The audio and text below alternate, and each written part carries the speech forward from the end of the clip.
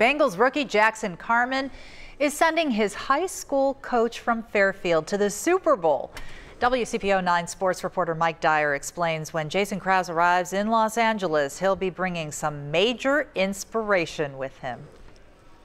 Fairfield football coach Jason Krause can't wait to support Bengals offensive lineman Jackson Carman in the Super Bowl. Krause leaves for Los Angeles Thursday afternoon after Carman, a 2018 Fairfield grad, offered him a ticket last week finally got the itinerary this morning with all the activities and everything going on out there, and uh, just being part of the, the, the friends and family of, of Jackson is amazing. Krause will also have a suitcase full of inspirational letters and signs specifically for Carman. The Fairfield City School District students and staff worked on hundreds of supportive messages in the past week.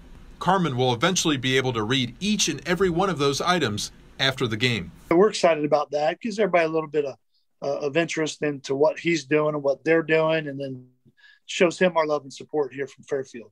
Krause and Fairfield Athletic Director Aaron Blankenship created the idea after the Bengals won the AFC Championship.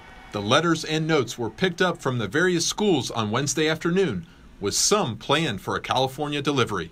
I think for us, it's just been a fun outlet um, for people to be able to reach out to Jackson, um, and also just a reminder for really, you know, the the kids in our elementary schools, our middle schools, our high school that man, anything can happen. Mike Dyer, WCPO 9 Sports.